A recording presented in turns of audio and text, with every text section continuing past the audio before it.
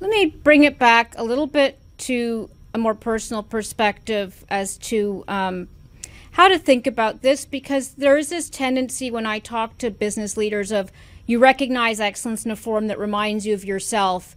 And when you talk about things like pay equity and legislation, they always um, take umbrage a little bit that, that they want to have equity, um, they want to promote women. There's a pipeline issue. There's all kinds of other issues that are stopping them from getting, you know, gender pay equity at least.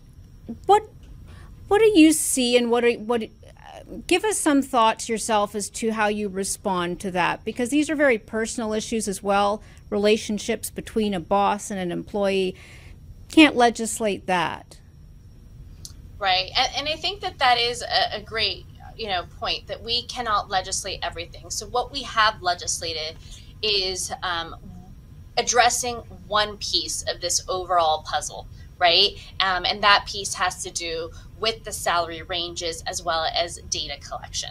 Uh, mm-hmm. And I think that it's also important to recognize, and I've talked about this often, that our law, Senate Bill 1162, that passed in California in 2020, is not going to fix the problem.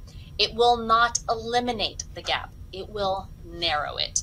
And as we all move forward, whether it's the private sector doing individual pledges to say, this is what we want for our employees, whether it's legislation or whether there are more intentional, um, you know, everyday practice and trainings and models um, within each employee, you know, sector um, of private and public. This is also applies to private, uh, you know, public mm-hmm. uh, employers as well.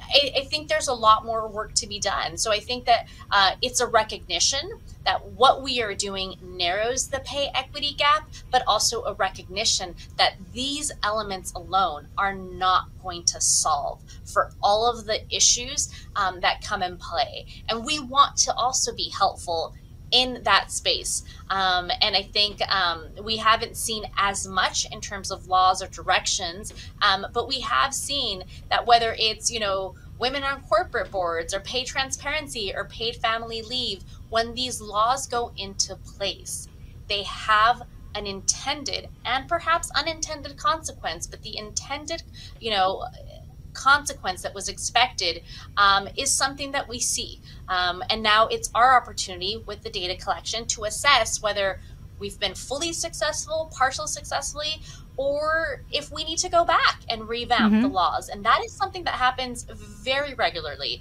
in the legislative process. We will go a few years and say, look, do we need a course correct and what does that look like? Um, and so I think having a law in place allows us to course correct not having a law in place doesn't allow us to do any of the above. Well, look forward to getting more data and look forward to continuing the conversation. Uh, Senator Monique Limón, thank you so much for joining us. Thank you, Diane.